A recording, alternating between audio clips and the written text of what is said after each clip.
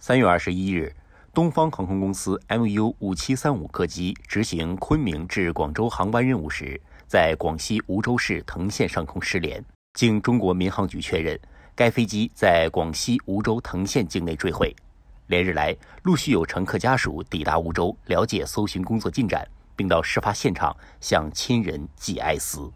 三月二十五日。记者采访到了参与东航客机坠毁事件救援工作的心理学博士王娜，他对记者说：“此次坠机是一次悲剧事件，更给失联乘客家属带来了不可挽回的伤痛。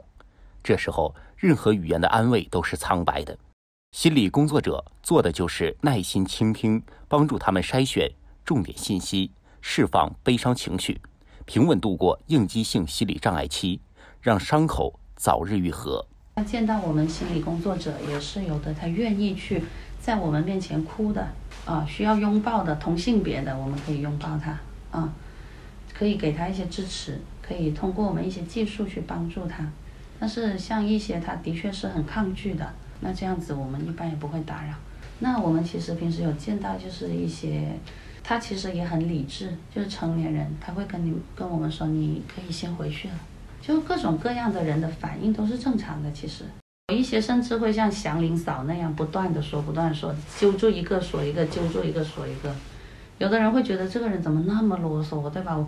甚至他会揪住同一个人跟你说几遍，但是其实他每一次说都是他宣泄的一个过程。王娜表示，亲人的失联超出很多人的心理承受能力，悲伤哭泣是正常的反应。有的家属刚开始显得沉默。但一聊便哭成了泪人，愿意把真实的故事、内心的伤痛让别人看见，引导那些某某些就是群众或者怎么样，引导他们宣泄出来。他们也说我们去挑人家的痛处，其实不是的，我们就是要让他宣泄出来。像有一些状态，他应激状态的时候，你看到他是一个人木木的、僵僵的，好像没事啊。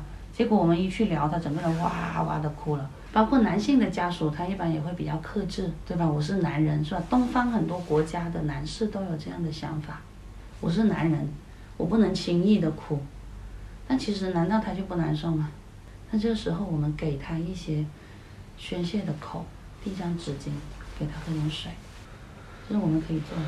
为失联乘客家属服务的同时，王娜还接受一线救援人员、记者等群体的心理咨询。他表示。心理医生会根据当事人的语音、语调、眼神等细节进行研判，了解其内心状态，提出治疗方案。遇到此类事件，当事人也要学会通过运动、转移注意力等方式排解不良情绪。他建议道：“当事人在睡觉前可把最近接触过的重点事情复述一遍，暂时放下包袱，提高睡眠质量。”王娜介绍，此次参与救援的心理医生多为自发报名的志愿者。出发前经过专业训练，开展心理救援期间，严格遵守行业的保密原则，不对外透露服务对象信息。